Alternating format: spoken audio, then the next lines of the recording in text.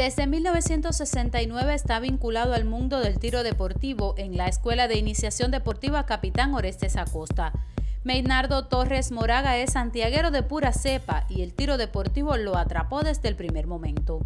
Sus años como atleta llegaron hasta 1984, con reconocimiento a nivel internacional. Su medalla más preciada es el título por equipos en los Juegos Centroamericanos de Medellín 1978, junto a Rafael Rodríguez, Erin Gaidó y Guillermo Reyes. Como entrenador estudió el sistema de preparación de la selección nacional y desde 2010 los resultados han sido favorables. Dos años después llegaron los mejores resultados en las Olimpiadas de Londres 2012 con el título de Leuris Pupo. Esa medalla puso a Cuba en la mira y desde ese momento los planes de entrenamiento de Meinardo Torres son vistos con mayor respeto. Los retos son grandes cuando deben trabajar sin municiones y muchas dificultades.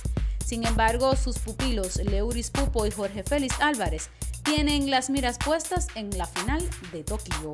Jesús Muñoz y Brita García Alberteris, Sistema Informativo de la Televisión Cubana.